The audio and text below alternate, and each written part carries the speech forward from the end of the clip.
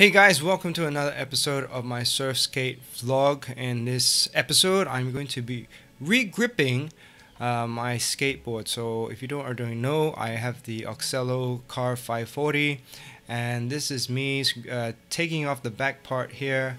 Uh, you can see there's a lot of, uh, it's very sticky there.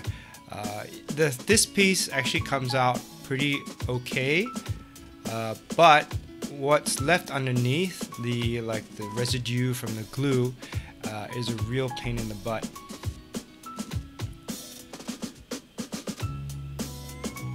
So once you've taken off there, you have that like a film of uh, stuff there. So I tried to sandpaper it off, but it wasn't coming off. And so what I did uh, is that I had to get some other stuff. So in the meantime, I sanded the other part of this. So uh, they put this like really coarse kind of sand grip uh, on it, and I just sanded that back. Okay, so I used this adhesive remover from 3M. I had it in the, I just had it in my uh, storeroom. So I sprayed that on. I waited a couple of minutes. Uh, let that soak in. Uh, in the meantime, I just wiped the board and got a coffee.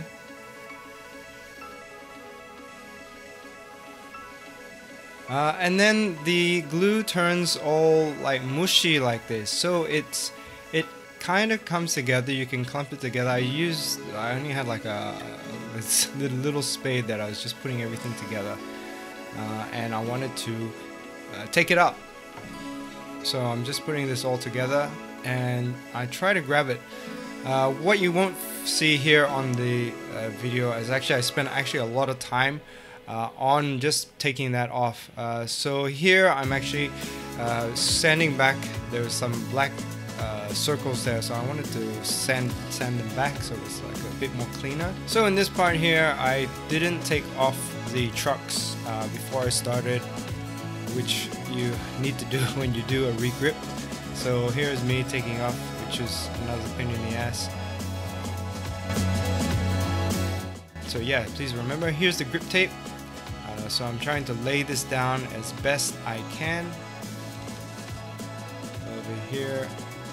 And I'm just gonna lay it down. I tried to stretch it out a little bit and press it down. Uh, what I found and and this I'm just taking the other piece of the grip tape and I'm just trying to push out but as you can see there's lots of of uh, little air bubbles and that's because it wasn't sanded or it wasn't very smooth Oh my god, this is terrible. Absolutely terrible. Oh. Look at the state of that. I don't even know what to do with this. Okay, so here I'm uh, scoring the, the edge of the board with this screwdriver here. Uh, later on, I'm going to take my blade uh, and I'm going to cut around uh, where I've scored the grip tape so we'll go around there. As you can see all these air bubbles are there.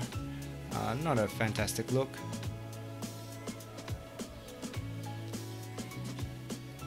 And after that take a sharp object and punch out the holes uh, for the screws. And then I'm putting back on the uh, screws for uh, the trucks. And there we go.